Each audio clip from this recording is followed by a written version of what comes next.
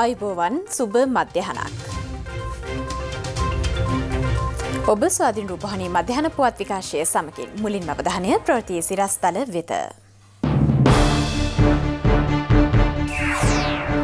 මෙරට කොරෝනාරෝගීන් වැඩිම සංඛ්‍යාව ඊයේ.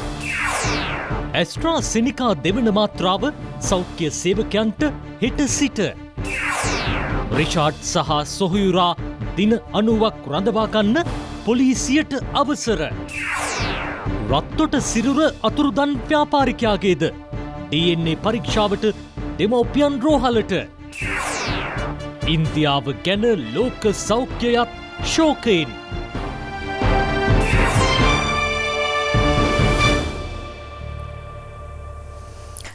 මෙරට දිනක් තුළ කොරෝනා රෝගීන් වැඩිම සංඛ්‍යාව ඊයේ දිනේ වාර්තා වුණා. එම සංඛ්‍යාව නවසය අනෝ හතක්.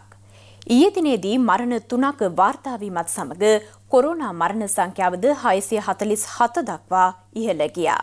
මෙ අතර ඇස්ට්‍රාසෙනකා එන්නතේ දෙවන මාත්‍රාව ප්‍රථමයෙන් සෞඛ්‍යංශ සඳහා ලබාදීම හෙට ආරම්භ කෙරෙනවා. කෑගල දිස්ත්‍රිකයේ සියලු පාසල්ද ලබන තිස්වන දාතයක වසා දමා තිබෙනවා.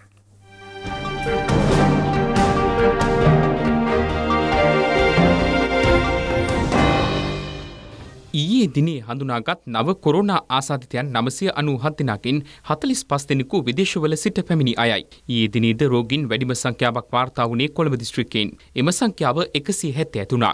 ගම්පා දිස්ත්‍රික්කයෙන් එකසි හැත්ත දෙනෙකු වාර්තා වුණා.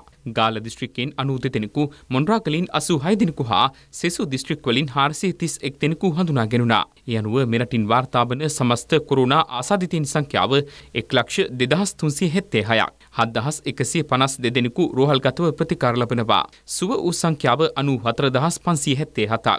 ඊදිනේදී PCR පරීක්ෂණ දාතුන් දහස් එකසේ තිස් අටක් සිදු කර තිබෙනවා. සම්ප්‍රතිශයාව කැස්ස සහ උන රෝග ලක්ෂණ මත වූ වහාම රෝහල් වෙත ගොස් ප්‍රතිකාර ලබා ගන්නා ලෙස සෞඛ්‍යංශ ජනතාවගෙන් ඉල්ලා සිටිනවා.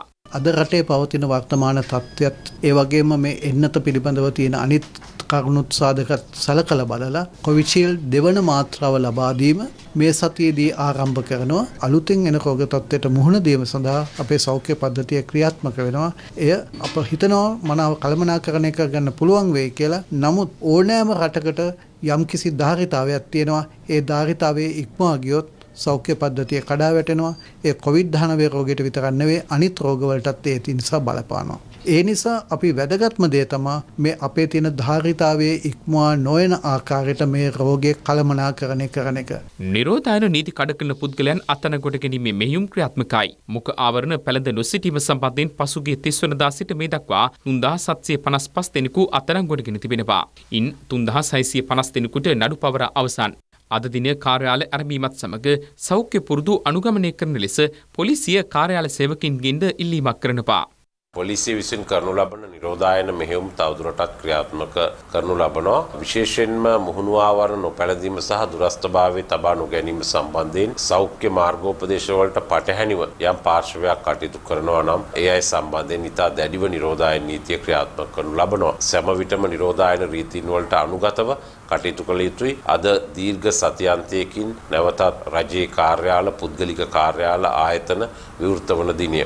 හැම විටම සෞඛ්‍ය පුරුදු අනුගමනය කරන්න මුහුණු ආවරණ පැළඳීම අනිවාර්ය වෙනවා ආයතන ප්‍රධානීන් හිමිකරුවන් කළමනාකරුවන් සුපරීක්ෂකවරුන් මේ පිළිබඳව අවධානය යොමු කළ යුතුයි. ග්‍රාමනිලධාරී වසම් 14ක් මේ වන විට හුදකලා කර තිබෙනවා. අද දින අලුතින්ම හුදකලා කර ඇත්තේ හිඟුරක්ගොඩ සිරිකෙත සහ උකුවෙල පල්ලේ කුඹුර ග්‍රාමනිලධාරී කොට්ටාශයි. හුදකලා කර ඇති ප්‍රදේශවල ජනතාවද නිරෝධායන නීති අනුගමනය කළ යුතුයි. සංචරණ සීමා පනවා ඇති ප්‍රදේශවල පදිංචිකරුවන් වෙනත් ප්‍රදේශවලට පැමිණ සිටියහොත් ඒ පිළිබඳ දැනුවත් කරන ලෙස මාජන සෞඛ්‍ය පරීක්ෂකවරුන්ගේ සංගමේ ජනතාවගෙන් ඉල්ලා සිටිනවා. ඉතාම පැහැදිලිව සංචරණ සීමා යම් ප්‍රදේශයකට පනවලා තියෙන්නේ ඒ ප්‍රදේශය තුල පාලනය කර ගැනීමට අසීරු තත්වයෙන් COVID-19 ආසාදිතව වාර්තා වෙන නිසා ඒ නිසා ඒ ප්‍රදේශයේ ඉන්න ඕනෑම කෙනෙකු තුල COVID-19 වෛරසය තිබීමේ හැකියාවක් සහ සම්භාවිතාවක් තියෙනවා. ඒ නිසා අපි කාරුණිකව ඉල්ලනවා සංචරණ සීමා පනවලා තියෙන කිසිදු ප්‍රදේශයකින් කිසිදු පුද්ගලයෙක් බාහිර ප්‍රදේශයකට ගමන් නොකරන ලෙසත් ඒ වගේම අනෙකුත් ප්‍රදේශවල ජනතාවගෙන් ඉල්ලනවා එවැනි පුද්ගලයෙක් තමන්ගේ ප්‍රදේශයට හෝ නිවසට ඇතුළත් කර නොගන්න ගන්නා ලෙසත් විශේෂයෙන්ම එවැනි පුද්ගලයෙක් අපිට අනාවරණය වුණොත් සංචරණ සීමාවෙන් පිටතට ගිහිල්ලා කියලා අපි 1897 අංක 3 දරන නිරෝධායන හා රෝග ස්පර්ශකයන් වෙන් කර දැමීමේ ආඥා පනත ප්‍රකාරව නීත්‍යානුකූලව කටයුතු කරනවා.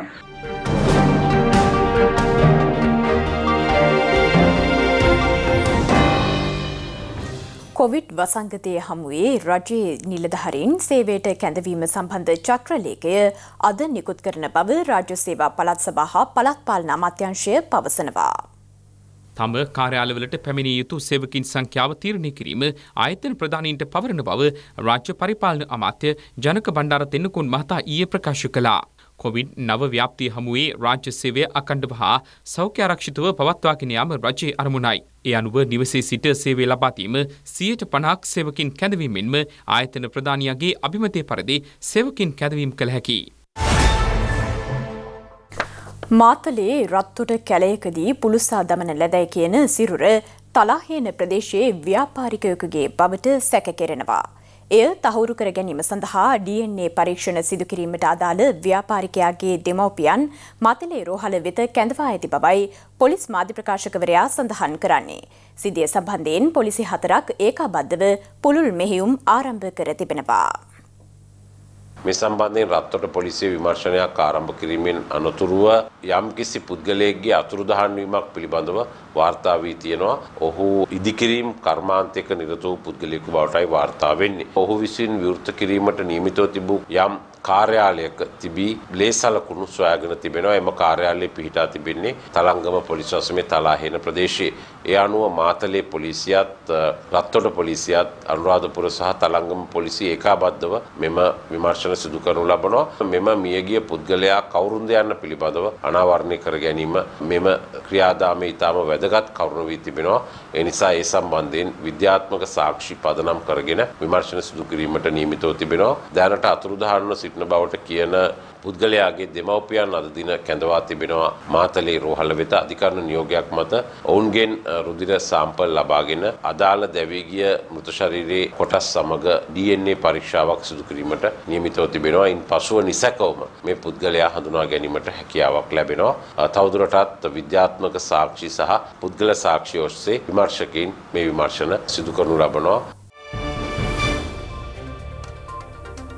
පාර්ලිමේන්තු මන්ත්‍රී රිෂඩ් බදවිදීන් මහතා සහ ඔහුගේ සොහොයුරා තවත් දින අනුවක් රඳවාගෙන ප්‍රශ්න කිරීමට පොලිසියට අවසර හිමිව තිබෙනවා.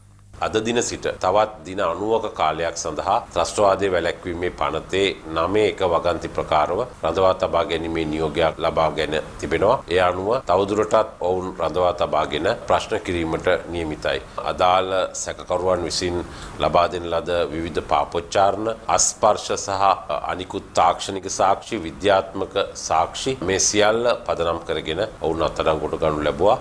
විශේෂයෙන්ම විමර්ශකින්ගේ අවධානය යොමු වී තිබෙන්නේ තාක්ෂණික සහ විද්‍යාත්මක සාක්ෂි විශ්ලේෂණය කරමින් ඊට අදාළව ඔවුන්ගෙන් ප්‍රශ්න කිරීම සඳහා ඒ නිසා මේ රැඳවුම් නියෝගය අපරාධ පරීක්ෂණ දෙපාර්තමේන්තුව සමග ත්‍රස්තක්‍රියා විමර්ශන කොට්ටාශය මේ පරීක්ෂණ සිදු කරනු ලබනවා. රිෂඩ් බදයුදීන් සහ හරින් ප්‍රනාන්දු යන මන්ත්‍රීවරුන් ගැන මේ දවස්වල දේශපාලන වේදිකාවේ නිතර කතාබහට ලක්වනවා. ඒ සම්බන්ධයෙන් පළවන අදහස් කිහිපයක් දැන්. රටේ ලක්ෂ සංඛ්‍යාත ජනතාව මා ඇතුළුව බලාගෙන සිටිනවා ඒ පාස් ප්‍රහාරය සැලසුම් කර මහමොලකරුවන්ට දැඩි දනුවම් ලබා දෙනවා. ඒකේ මහමොලකරුව හරින් ෆර්නෑන්ඩෝ මැතිතුමා නෙවෙයි. ඉතින් මෙතන ලෝක විහිළුවක් සිද්ධ වෙන්නේ. හරින් ෆර්නෑන්ඩෝ මැතිතුමා පරීක්ෂණ වලට සහයෝගයක් හැටියට අලුත් තොරතුරු රටට ලෝකට ඉදිරිපත් කරා. එතුමාව අත්අඩංගුවට ගන්න යනවා ත්‍රස්තවාදයේ වැළැක්වීමේ පනත.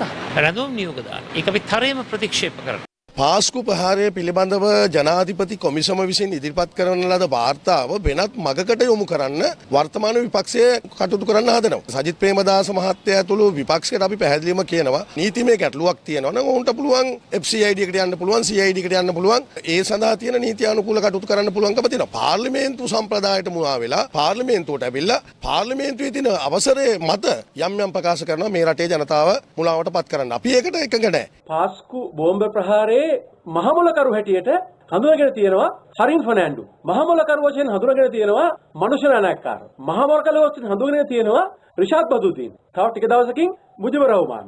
මේ මර්ධනයට විරුද්ධව සමගි ජන බලවේගයේ හැටියට ඍජුව පෙනී ඉන්නවා. අත්තරංගොඩ ගත්තට පස්සේදී එක එක දේවල් කියලා හරියන්නේ නැහැ. කොහොමත් රිෂාඩ් බදුර්දීන්ගෙන් වාසි ගත්ත අය එහෙම කියනවා ඇති. මිනිස් ජීවිත 250ක් විනාශ කරපු එකට සම්බන්ධ වෙච්ච කිසිම කෙනෙකුට නීතියෙන් ගැලවිලා එළිය ඉන්න දෙන්න බෑ. රිෂාද් බදුර්දීන්ව අත්තරංගුවට ගත්තේ පාස්කු ප්‍රහාරය සම්බන්ධ සාක්ෂි තිබිලා නම් කළ යුතු වන්නේ ඉක්මනට ඔහුව නීති හමුවට ගෙනහල්ලා ඔහුට දඬුවම් කරන එක. පල්ලි වලට ගහලා හෝටල් වලට ගහලා කරපු මේ මහා විශාල අපරාධේ කරාපු අයගේ සුළමුල සෙවීම සහ ඒ අයට දඬුවම් දීම මං හිතන්නේ මහජනයා තෝරාගත්ත ආණ්ඩුවක වගකීමක් වෙනවා රිෂාඩ් බදුරුදීන් ඇමතුමාත් යහපාලන ආණ්ඩුවේ පැහැදිලි කොටස්කාරේ. ඉතින් ඒ කාලේ යහපාලන ආණ්ඩුව කටයුතු කරේ අර එක එක්කෙනාට ඕන ආකාරයට.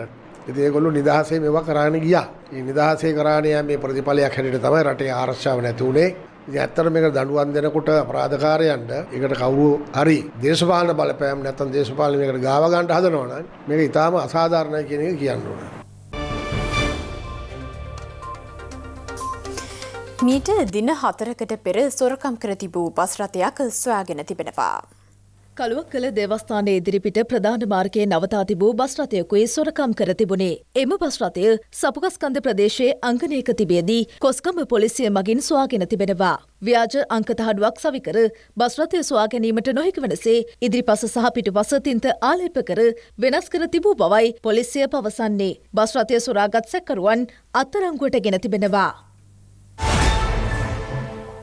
ව්‍යාජ රන් බහන්ඩ නිෂ්පාදනාකාරයක් වටලා සැකකරුවන් දෙදෙනෙකු අතරංගුවට ගෙන තිබෙනවා.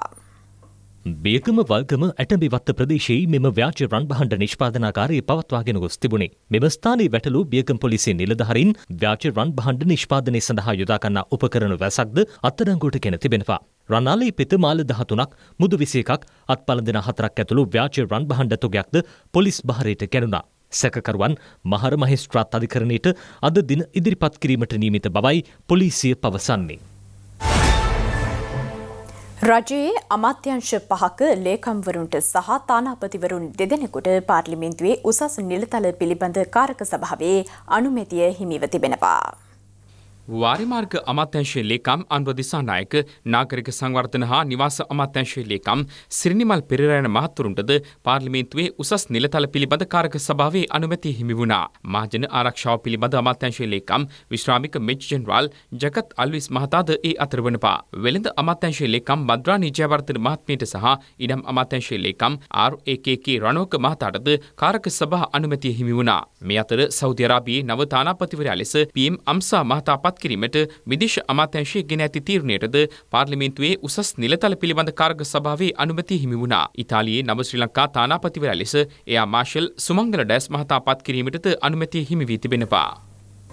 ඒ පුවතත් සමගින් ස්වාධීන් රූපහානි මධ්‍යහන පුවත් විකාශය නිමාවට පත්වනවා. ඔබට සුබ දවසක්.